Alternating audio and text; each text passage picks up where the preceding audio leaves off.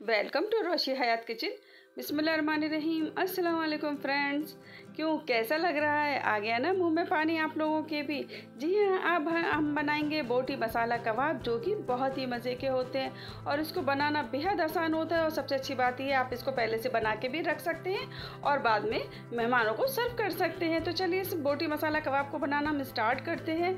तो मैंने यहाँ पर सबसे पहले मटन को, बोटियाँ ले ली हैं। बोनलेस मटन लिया है मैंने और वेट में मेजर करें तो ये वन के है।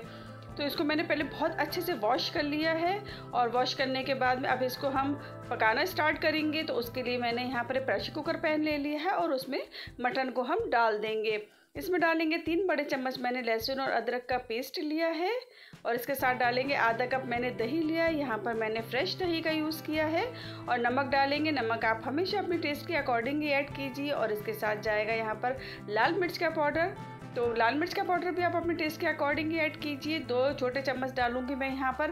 तंदूरी मसाला डालूँगी, ये मेरा होममेड है। अगर आप लोगों को इसका वीडियो चाहिए तो आप मुझे कमेंट बॉक्स में बता सकते हैं। मैं इसका वीडियो भी शेयर कर दूँगी। ये तंदूरी मसाला बहुत ही मज़े का बन के तैयार हुआ था और इसको आप काफ़ी चीज़ों में यूज़ कर सकते हैं। तो अब यहाँ पर हम डालेंगे कलर के लिए डालेंगे एक बड़ा चम्मच मैंने कश्मीरी लाल मिर्च पाउडर का लिया है और एक छोटा चम्मच डालेंगे भुना और कुटा ज़ीरा पाउडर। यहाँ पर इस जो रोस्टेड वाला हम ज़ीरा पाउडर डालते हैं, इसका टेस्ट बहुत अच्छा आता है इससे और इन सारी चीज़ों को हम अच्छे से मिक्स कर लेंगे। और अब इसमें हम डालेंगे पानी तो यहाँ पर आधा कप मैंने पानी का यूज़ किया है। यहाँ पर बहुत ज़्यादा पानी का यूज़ हम नहीं करेंगे, क्योंकि मटन भी अपना पानी रिलीज़ करता है और जो दही डाला है, वो भी पानी रिलीज़ करता है। मुझे यहाँ पर कलर थोड़ा सा कम लगा तो मैंने दो pinch orange red food colour लिया, उसको थोड़े से अंदर के पानी के अंदर घोल के मैंने इसमें मिक्स कर दिया है। इससे कलर बहुत अच्छा आता है, लेकिन ये डालना पूरी तरह से ऑप्शनल है।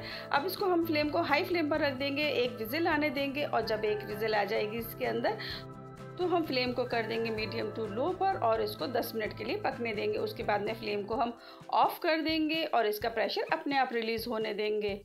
और अगर आपको लगे कि इस स्टेज पर मटन आपका गला नहीं है तो आप इसको थोड़ी देर के लिए गैस पर और रख सकते हैं। और ये देखिए, अब इसमें जो भी अगर आपको लगे ना, थोड़ा बहुत पानी है, उसको फ्लेम को हाई करके आप इसके सारे पानी को ड्राई कर सकते हैं। यहाँ पर हमें कोई इसकी ग्रेवी नहीं चाहिए, सिर्फ़ हमें बिल्कुल ड्राई वाला मटन चाहिए।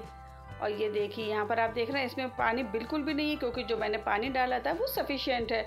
और यहाँ पर जो मटन है, ये भी अच्छे से गल चुका है, पूरी तरह से टेंडर हो चुका है ये। अब इसको हम एक बार फिर से इस तरह से चला लेंगे, जो थोड़ा बहुत ही पानी होगा, वो रिलीज़ हो जाएगा। और अब इसको फ्लेम को हम ऑफ़ कर देंगे और इसको थोड़ा सा ठंडा होने देंगे। अब यहाँ पर मैंने एक पैन ले लिया है, उसमें डाल देंगे। दो बड़े चम्मच मैंने बटर का डाला है और दो बड़े चम्मच ही डालूँगी मैं यहाँ पर तेल के, क्योंकि तेल के साथ में जब बटर को हम गर्म करते हैं तो बटर हमारा जलता नहीं है और इसको हम गर्म होने देंगे और जब बटर हमारा अच्छे से गर्म हो जाएगा तो इसके मटन के जितने भी पीसेज हैं, इसको सारे हम इसके ऊपर, तवे के ऊपर अरेंज कर देंगे इस तरह से। देखिए, सारे मटन के पीसेस को मैंने इस पर अरेंज कर दिया है और फ्लेम अभी हम रखेंगे हाई पर और हाई फ्लेम पर ही हमें इसको अच्छे से कलर देना है। बेसिकली हमें यहाँ पे इसको कोई पकाना नहीं है, सिर्फ़ इसको कलर देना है। अगर आपके पास ग्रिल वाला पैन है तो इससे कलर इसका बहुत अच्छा आता है। उसमें मार्क्स पड़ जाते हैं, जो कि देखने में भी बहुत अच्छे लगते हैं। वैसे तो ये सिगड़ी पे सेका जाता है इसकी जो स्टिक्स होती हैं, उसके अंदर लगा के इसको सेका जाता है, लेकिन वो हर घर में नहीं होती है। तो मैंने आपको इस तरह से बहुत ही आसान तरीके से इसको बनाना बताया है। तो हाई फ्लेम पर हम इसको अच्छे से एक तरफ़ से इसका कलर आने देंगे और जब आपको लगे कि इसमें कलर आने लगा है तो सारे मटन के पीसेस को हम टर्न कर देंगे। और हाई फ्लेम पर हम इसको दूसरी तरफ़ से भी अच्छा सा कलर आने तक फ्राई कर लेंगे। और ये देखिए, ये आप देख रहे हैं, इसमें कलर आने लगा है। तो मैंने इसको पलट दिया था और ये अच्छे से दोनों तरफ़ से इसमें कलर बहुत अच्छे से आ गया है। अब फ्लेम को हम कर देंगे बिल्कुल लो पर और बीच में थोड़ा सा इसका एक गड्ढा सा बना लेंगे और उसमें आप चाहें तो एक कटोरी ले लीजिए। मैंने फॉइल पेपर की कटोरी बना ली और उसमें एक जलता हुआ कोयला रख के हम उसके ऊपर थोड़ा सा ऑयल डाल देंगे और इसको कवर करके रख देंगे क्योंकि हमें इसमें स्मोकी फ्लेवर चाहिए। जो बाज़ार वाले होते हैं, वो तो बारबेक्यू में से बनाते हैं तो उसे जो फ्लेवर होता है, वो ऑलरेडी उसके अंदर आ जाता है, लेकिन हम लोग घर में बना रहे हैं तो इसको इस तरह से बनाएँगे। दस मिनट के लिए मैंने इसको कवर करके रख दिया था। और दस मिनट के बाद में इसको मैंने जो ऊपर इसका ढक्कन हटा लगाया था, वो मैंने हटा दिया है। और ये देखिए, आप देख रहे हैं क्या ज़बरदस्त वाले हमारे बोटी मसाला कबाब बन के तैयार हुए हैं फ्रेंड्स। क्या ज़बरदस्त इसमें से खुशबू आ रही है।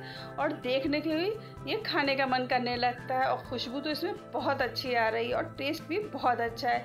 तो इस रेसिपी को आप ज़रूर ट्राई कीजिए। आई होप आपको और आपकी फैमिली में रेसिपी सबको बेहद पसंद आएगी। सोचिए, जब ये देखने में इतने मज़ेदार हैं तो खाने में कितने मज़ेदार होंगे। एकदम माउथ वाटरिंग रेसिपी है और बहुत ही ज़बरदस्त रेसिपी है। तो इस रेसिपी को आप ज़रूर ट्राई कीजिए और मेरी आई होप आपको और आपकी फैमिली में रेसिपी सबको बस, बहुत पसंद आएगी।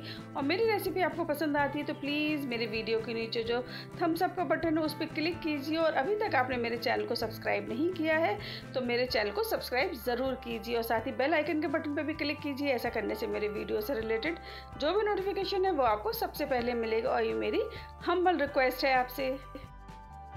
और देख रहे हैं आप, क्या ज़बरदस्त हमारे मटन कबाब बन के तैयार हुए हैं। तो इस रेसिपी को ट्राई करना तो ज़रूर बनता है। तो चलती हूँ मैं एक नई रेसिपी के साथ में। फिर मुलाकात होगी इंशाल्लाह। दुआ में याद रखिए। Thank you for watching my video Allah हाफि